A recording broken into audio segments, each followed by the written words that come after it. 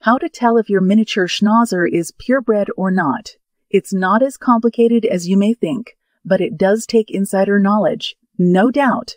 Miniature Schnauzer is a small, sturdy breed of dog that originated in Germany in the 19th century. They were originally bred as farm dogs and rat catchers, but they soon became popular as family pets due to their affectionate and loyal nature. That's why in this video we're going to give advice to those wanting to know how to tell if a miniature schnauzer is purebred or not.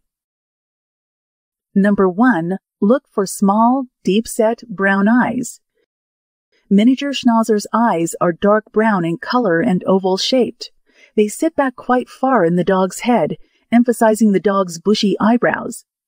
In addition, the miniature schnauzer's eyes are known for being full of expression, not at all flat. Number two, look for its distinctive mustache and beard.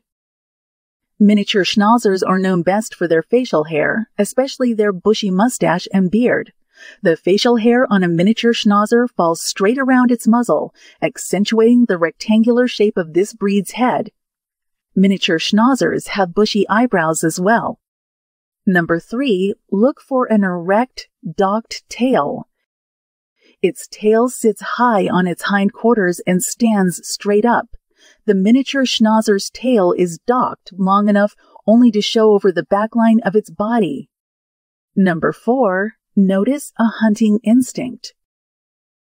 Originally raised to hunt vermin, miniature schnauzers have a strong hunting instinct. They will take off after small animals like mice, rats, squirrels, and birds. They may also exhibit this hunting behavior with smaller pets like hamsters and gerbils so be sure to keep a close eye on them if you have these types of pets in the house. Number 5. Notice its size. Miniature schnauzers are small but are not considered a toy breed. On average, this breed stands 12 to 14 inches tall at the shoulder and weighs between 11 and 20 pounds. Number 6. Pay attention to its overall build. The miniature schnauzer's body is also rectangular in shape. Its front legs are straight and parallel to each other when viewed from either the front or sides. Its back legs extend past its rear end at an angle. The back line of this breed is straight as well, declining only slightly from the shoulders to the hindquarters.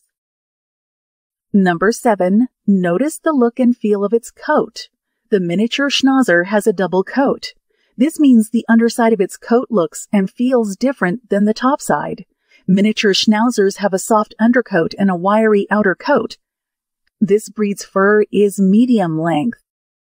Number 8. Look for loyalty. This breed is very loyal and affectionate toward its owner.